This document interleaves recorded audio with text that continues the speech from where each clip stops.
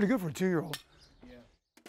My name's uh, Joe Campbell. I'm a farrier here at Belmont Racetrack. I'm a third-generation blacksmith. Started with my dad, 1970. You know, our job is probably generational job. It's been passed through usually fathers to sons.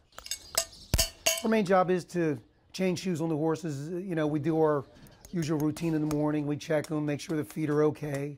Uh, we change them as, as, as needed, usually uh, if it's turf shoes or dirt shoes. And uh, we have a regular regimen. We usually work five, six days a week, and uh, we just go about our business every morning. And then usually we're done later in the afternoon. Let's move to the other side. Our tools go back years and years. I've, I've got a hammer that my dad made for me. It's, it's probably 60 years old. It looks like it just came out of the box. We haven't changed really probably in 50 years. If your last shoe. Take a deep breath, and then we're ready. I shot it from 1978. At that time, I was working with my dad, and uh, my dad got hurt. So it kind of fell to either me or my twin brother. And uh, Laz Barrera at the time said, it's going to be a Campbell Choose the Horse regardless, father, son, or, or brother. Am I convinced it'll happen this year? I don't know. I wish them all the luck in the world. It'd be great for the game to get a Triple Crown winner.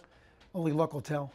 I have three sons and a stepson, and uh, they've all got their thing they like to do. I'm happy for them, and uh, I'm proud that they're all doing what they want to do.